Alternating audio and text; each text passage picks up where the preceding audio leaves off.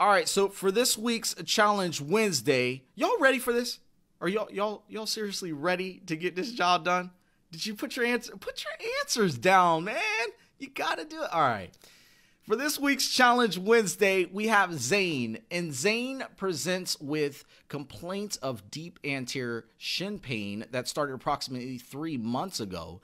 The patient states that the discomfort is present during running activities, descending stairs, and at night when resting.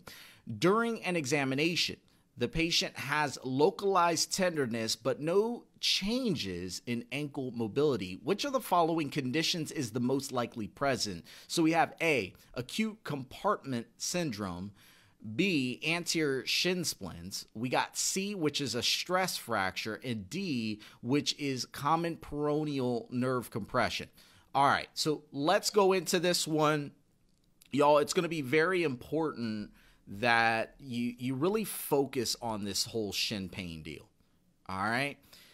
Don't take this one for granted because a lot of times we'll get these questions about shin pain. You got to differentially diagnose it, determine if it's a stress fracture versus shin splints and acute compartment, all these different things. And if you don't understand that neuromusculoskeletal differential, you're going to struggle with this area. So I'm going to teach you how to break a question like this down. We start off at the top. We see Zane presents with complaints of deep anterior shin pain.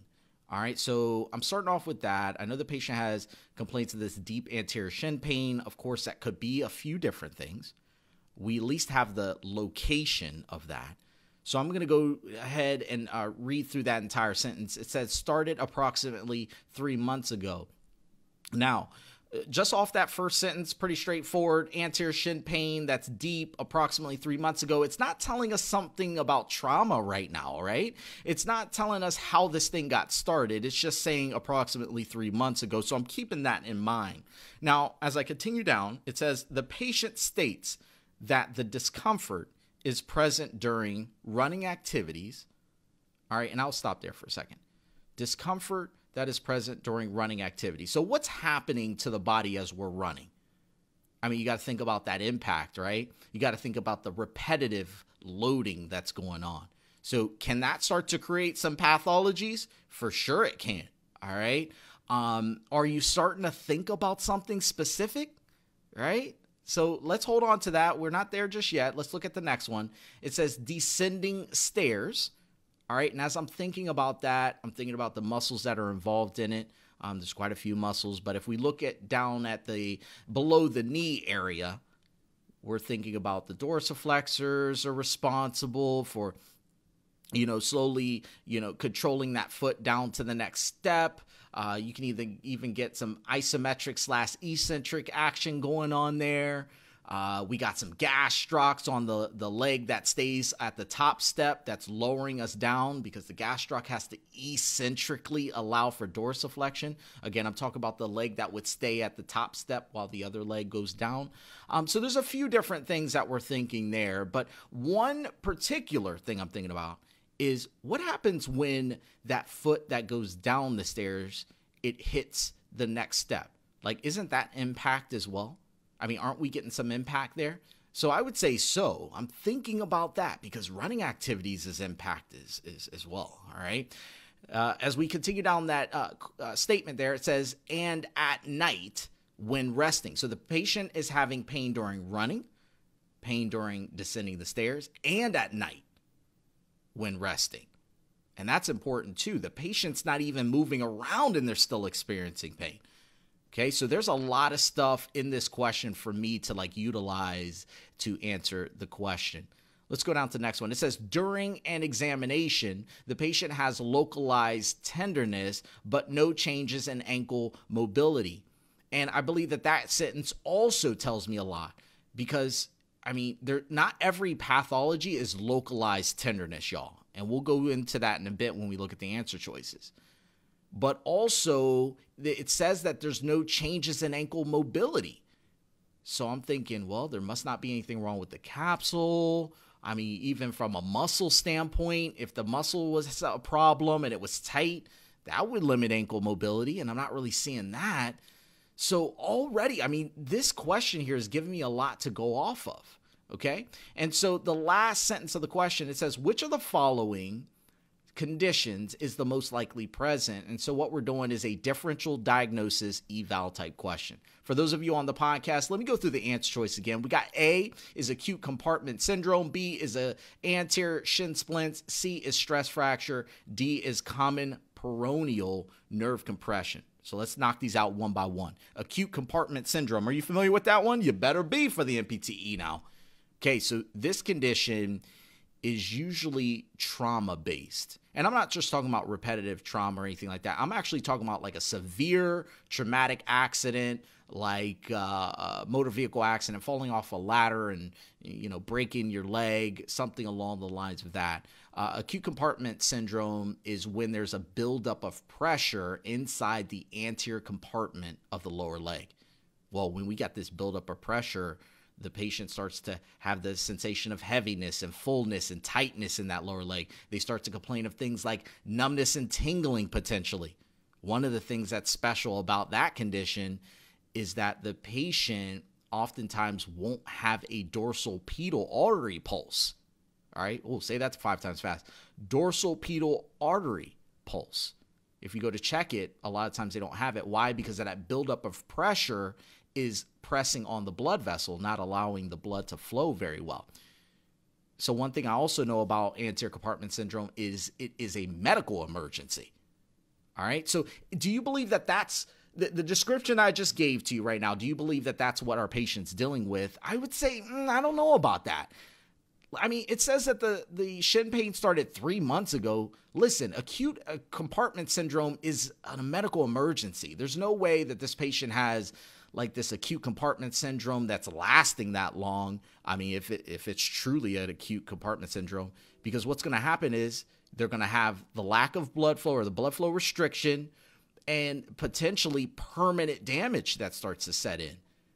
There's no way that this patient is just going on for three months, you know, with this type of condition going on. Okay. And so, what I would do is automatically put an X next to that. But as we go down the line, there's other stuff, other stuff that would rule out acute compartment syndrome. Things like no changes in ankle mobility. Well, that definitely is going to happen. The muscles are going to be very reactive to this problem. A lot of times they will possibly go into like a, a spasm and and the patient will even complain of pain if you try to stretch the ankle at all. So I would expect ankle mobility to be impaired.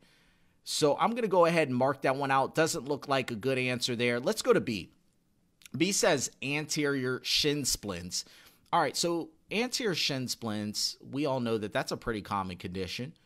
All right, we can have them on the posterior side of the leg, uh, but we also can have them on the anterior.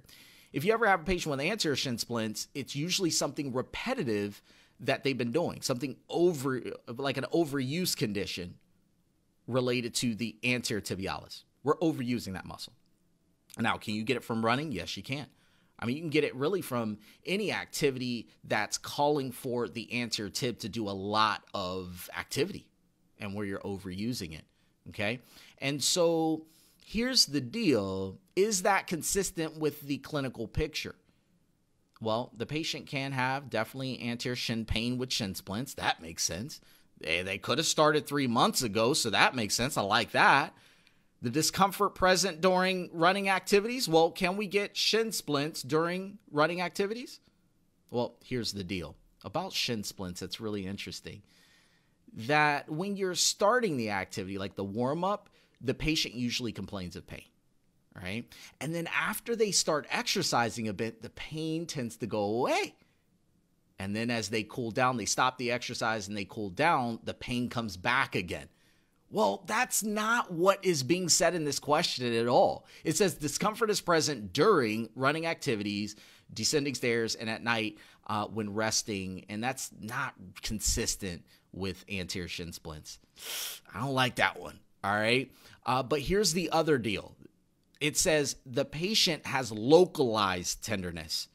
Well, the one thing I know about shin splints is it tends to be diffuse tenderness like greater than a five centimeter area. That's how they usually define it in your text is greater than a five centimeter area. It's more diffuse pain, not localized. All right. And so again, I'm looking at all these different characteristics and I'm like, this is not consistent with shin splints. One last thing, y'all. One last. It says, but no changes in ankle mobility, and I would expect the person to have limited plantar flexion with anterior shin splints. Why? Because that anterior tib is is is is irritated. And so if you go to try to stretch it, you're not going to get very much motion because the patient's potentially going to be painful. All right? And so B don't like it, not a good answer. It just doesn't fit with the clinical picture. Let's look at C. C says stress fracture. For those of you who are unfamiliar with a stress fracture, it's a small bone fracture. A lot of times we can't even find that thing when we use an x ray on it. All right. In the earlier phases, we, we can't even find it. All right. It's very small. Um, they often call this a stress reaction. We get this because of some repetitive loading that the patient's doing, like running. All right. Jumping, running, all those things can create a stress fracture. Now, can we get it during running? That's, yep, definitely can. Can we get it during uh, descending stairs as far as like the pain? Can it be present during descending stairs? I say yes, because if you're loading that leg, if that leg's coming down to the step and you're striking with that heel or whatnot, yeah, that could light up a stress fracture for sure, cause pain. Here's the deal Does that happen at night where the patient gets pain while resting at night? Mm. Do you know that one? You should be saying absolutely. Stress fractures are definitely something that the patient can complain of um, at night, like as far as the pain being there, even if they're at rest. All right. And so all these things make sense. But let me go to this one sentence. It says, during an examination, the patient has localized tenderness. Guess what, y'all? Put this down in your notes. Stress fractures tend to have pain that is less than five centimeters in length. All right, that's how they define localized tenderness. So, yeah, stress fractures have localized tenderness, and I wouldn't really expect changes in ankle mobility. I really wouldn't because the stress fracture doesn't really have anything to do with the muscle itself or the tendon or the capsule or anything along the lines of that. Listen, stress fracture looks like the best freaking answer here right now. It just fits this clinical picture. All right. So I'll put a check mark next to it. Doesn't mean it's the right answer. Let's look at D. D says common peroneal nerve compression. This is one I'm going to eliminate pretty quickly. And I'm going to eliminate it because, yes, the patient can have anterior shin pain with a common peroneal nerve compression, but think about it. When we compress a nerve, what type of signs and symptoms do we primarily start to see? Numbness and tingling, right? Numbness and tingling, potentially burning, these types of symptoms. Well, in the question, I'm not getting any vibe that we're having a neuro related condition right now. All right. I really would expect those paresthesias, the numbness and tingling, and all of that. Um, common peroneal nerve compression. Can you see it with running activities or discomfort? Potentially. All right. You could see it getting worse with that.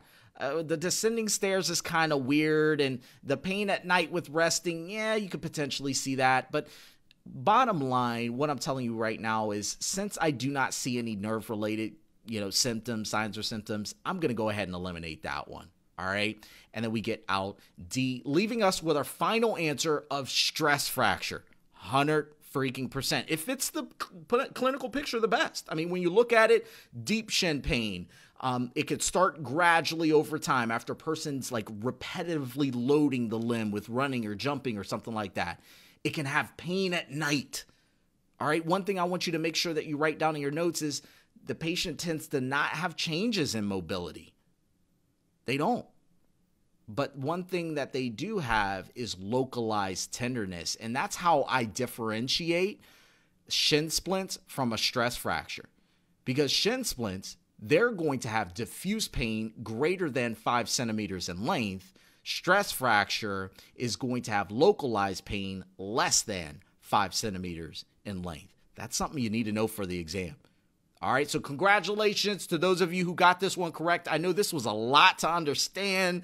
If you pulled over on the side of the road or if you stopped your treadmill to kind of listen to what I was saying, I completely understand you, baby. You might not be knowing that because the coronavirus is out right now, so your gym's probably closed and all that good stuff. But that is besides the point. Listen, I don't ever want to leave you with that basic explanation. I always want to take you to the next level. And how I'm going to do that is by getting you a cheat sheet to help you with these differential diagnosing of these conditions. Yeah, anterior compartment, shin splint, stress fractures. I got a cheat sheet that's going to help you to go over the stuff that we went over here today.